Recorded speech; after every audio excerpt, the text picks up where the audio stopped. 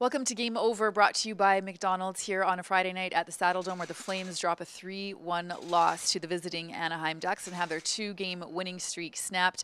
Plenty of shots by the Flames. They outshot the visiting team 35 to 18, but yet again just could not get a timely goal in the third period when they really needed it. Let's show you how the scoring went in this one, and even first period. And then in the second, it was Mikael Backlund on the power play, just standing in front. The point shot goes in off of him for his 15th of the season and that made it 1 nothing. Just over a minute later, though, an innocent shot from the point, a little bit of traffic in front, and it gets by Jacob Markstrom.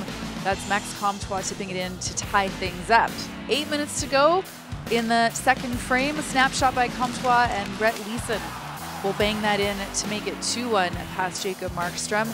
And as I mentioned, the Flames needing that timely goal in the third period could not get it. There's the empty netter that iced it for the Anaheim Ducks. So a 3-1 final here at the Dome. The Flames back to work on Sunday. They will face the visiting Ottawa Senators. We will see you then.